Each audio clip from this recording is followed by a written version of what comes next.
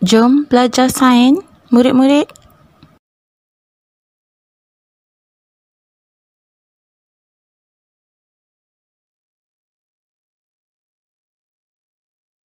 Sains tahun 3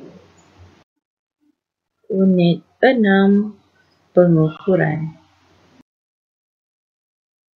Isi padu pepejal tidak sekata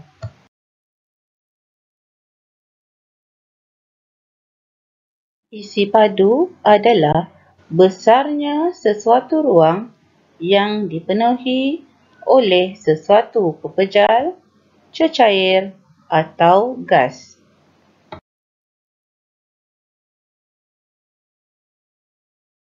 Cara membuat bacaan isi padu air. Berikut adalah tiga kedudukan mata yang biasa semasa kita membuat bacaan.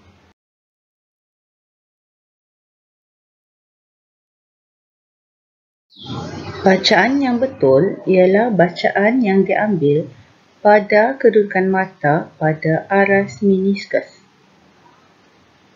Meniskus ialah permukaan cecair di dalam sesuatu bekas yang kelihatan berkeluk atau melengkung. Aras meniskus air ialah bahagian bawah rendah lengkung air itu. E adalah kedudukan mata yang betul semasa membuat bacaan, iaitu aras meniskus air yang betul. Isi padu air adalah 70 ml.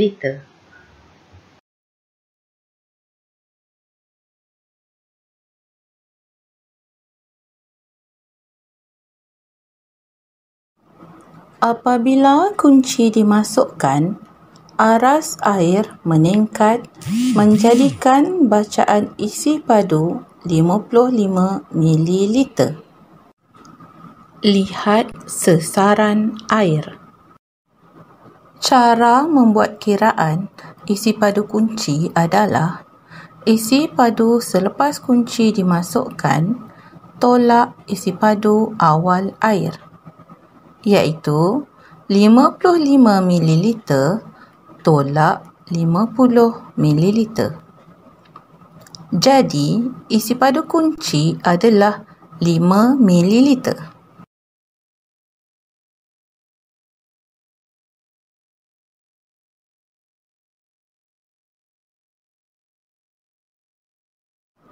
Apabila batu dimasukkan, aras air meningkat menjadikan bacaan isi padu 600 ml. Lihat sesaran air. Cara membuat kiraan isi padu batu adalah bacaan isi padu selepas batu dimasukkan tolak bacaan isi padu awal air iaitu 600 ml tolak 400 ml. Jadi, isi padu batu adalah 200 ml. Contoh seterusnya adalah membaca isi padu objek lain seperti contoh ini. Dalam contoh ini, isi padu awalnya telah mengandungi tiga biji guli. Kemudian, sebiji dadu telah dimasukkan. Bagaimanakah untuk mengetahui isi padu dadu tersebut?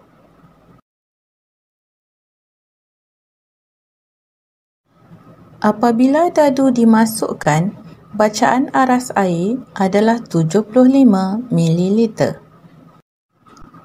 Lihat sesaran air. Jadi, untuk mengira isi padu dadu, bacaan dadu selepas dadu dimasukkan tolak isi padu awal iaitu 75 ml tolak 60 ml. Maka isi padu dadu adalah 15 ml.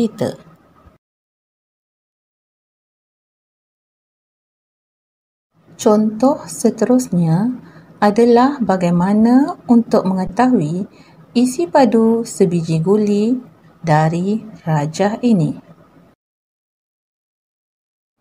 Dalam contoh ini, isi padu awal air adalah 55 ml. Apabila 6 biji guli dimasukkan, bacaan isi padu air adalah 85 ml. Lihat sesaran air. Langkah pertama adalah mendapatkan isi padu 6 biji guli terlebih dahulu. Bacaan selepas 6 biji guli dimasukkan, tolak isi padu awal air, iaitu 85 ml tolak 55 ml. Jadi, isi padu 6 biji guli adalah 30 ml. Langkah kedua, isi padu 6 biji guli iaitu 30 ml bahagi 6 biji guli. Maka, isi padu sebiji guli adalah 5 ml. Jumpa lagi dalam tajuk yang akan datang. Thank